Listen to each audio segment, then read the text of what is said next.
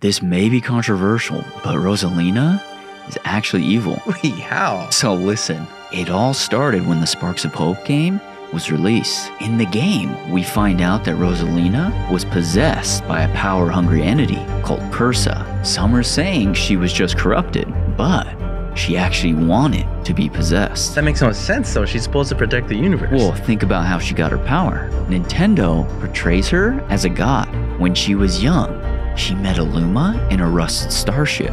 The Luma was sad because it was looking for his mother. Rosalina decided to help, so they fixed the starship and set sail into the sky. Many days passed, and Rosalina got hungry, but she realizes she forgot her food. So the Luma offered her star bits. When Rosalina ate them, she gained immense power. She's the only one